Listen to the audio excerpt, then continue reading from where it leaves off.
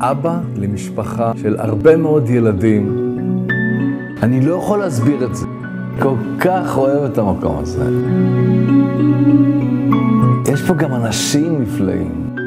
כאילו אלוהים הביא אותך לארץ זבת חלב ודבש. להכיר את המשפחות, להכיר את היישובים. תמיד לשכן שלי יהיה לא פחות טוב מאשר לי. ואם תדאג לזה שלכולם יהיה טוב, אז גם לך יהיה טוב. חוף הכרמל זה הבית שלי, זה המקום שלי, זה החברים שלי, זה המשפחה שלי.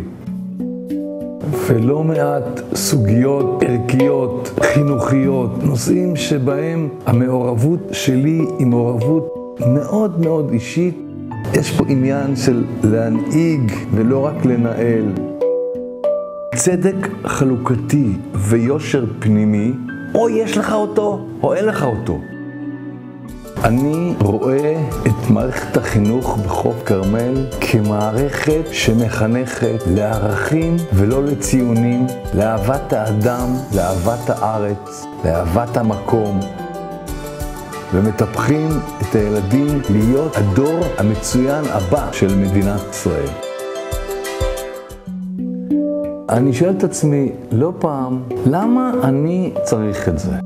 אני לא יכול לעזוב את המשפחה ולא יכול לעזוב את הבית ברגע הזה.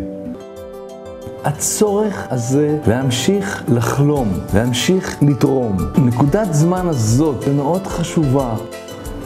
האזור צריך ניסיון, וזה לא יהיה נכון לקראת העתיד. יש פה פרויקטים מדהימים עתידיים.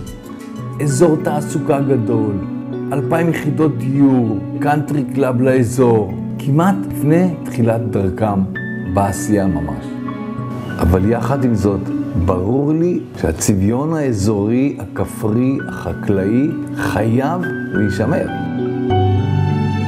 לחלק התרבותי ולחלק הקהילתי שתורם לקהילה, לגיבוש, תחושה של ביחד, יש משמעות מאוד גדולה.